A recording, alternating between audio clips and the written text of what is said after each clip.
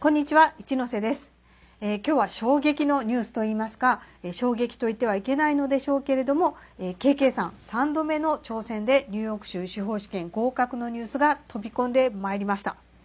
えー、ただですねニューヨーク市司法試験協会の合格者リストはまだ公開されていなくて、えー、まだね一般の人が合格者をチェックできる状態ではないのですけれども NHK からね第一報が出たということですので、えー、合格の方は間違いないでしょう。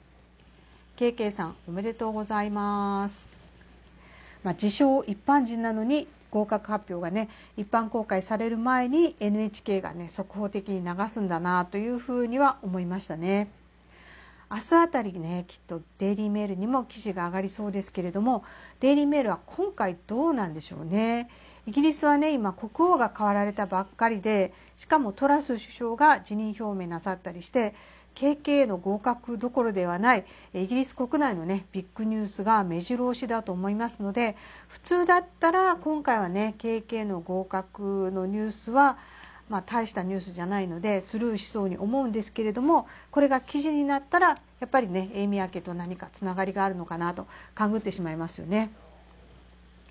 えー、KK 夫妻にご関心がある方はすでにね合格発表の情報は掴んでいらっしゃるでしょうし、えー、KK 問題系 YouTuber のね大御所の皆様はすでにね合格のね結果を受けてそれぞれ緊急動画をアップされていますので、えー、私はね出遅れついでに大御所の皆様の動画をそれぞれね拝見させていただきましたが、まあ、全体的にですねはっきりとはねもちろん申し上げられませんけれども、えー、KK 夫妻のことをね詳しくウォッチしている方方は KK が実力で合格を勝ち取ったとは思っていらっしゃらないようで、まあ、ご本人の、ね、実力というよりかは、えー、ニューヨーク総領事館の威信にかけて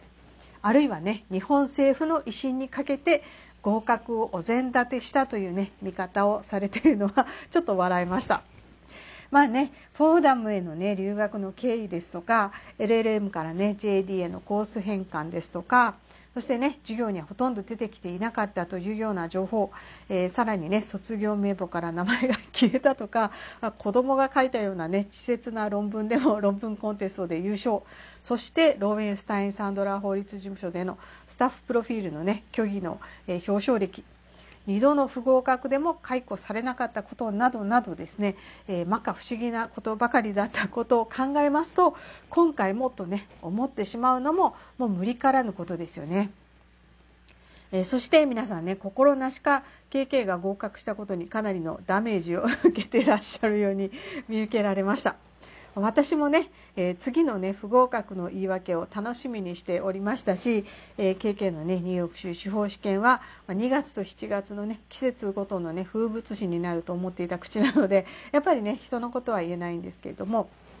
えー、さらにね、えー、ガルちゃんにも、えー、小室圭さんアメリカニューヨーク州の司法試験に合格という、トピーが立っておりまして、え、これもですねすごい勢いで今ねコメントが伸びておりまして、えー、KK さんの人気のほどを伺わせております。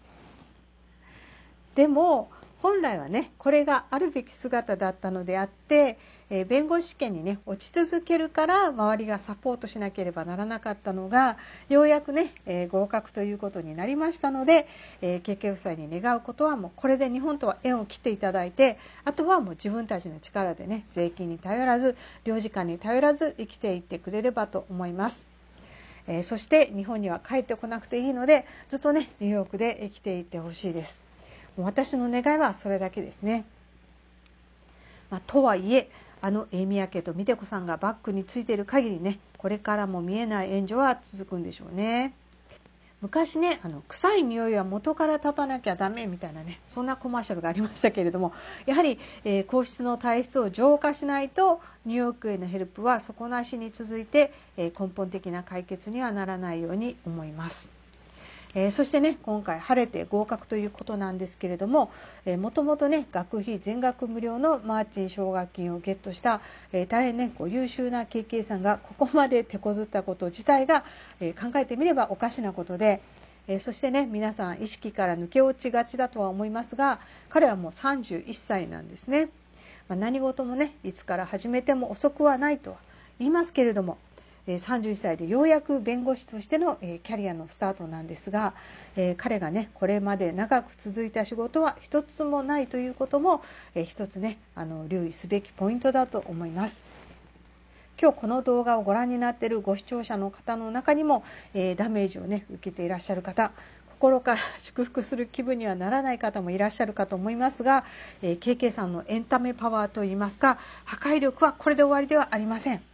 皆様ね是非今回はマクムロ劇場シーズン1の最終回ということで、えー、ご理解いただきまして明日以降ねまた新たなシーズン2のね幕開けになるかと思いますので、えー、これからもマクムロ劇場の続編を楽しみに待ちましょう。え私的にはアメリカのドラマの「プリズンブレイク」のように、えシーズンがね毎回バッドエンドで終わるっていうね、えこの夫妻の結婚生活はそんなリアリティショーになるのではないかと思っております。シーズン2はね KK 母が主役をね食ってしまうようなそんな大活躍をするかもしれませんしね。まあ楽しみに待ちたいと思います。また明日になるかと思いますけれどもニューヨーク州弁護士協会から合格者リストが公開されているかと思いますので明日は合格者リストをご一緒にチェックしながら動画配信したいと思います。えということで本日は KK さん3度目の挑戦でニューヨーク州司法試験合格のニュースについてお話をさせていただきました。チャンネル登録高評価コメントなどをいただけましたら今後の動画作成の励みになりますのでよろしくお願いします。本日の動画は以上となります。今日もご視聴いただきましてありがとうございました。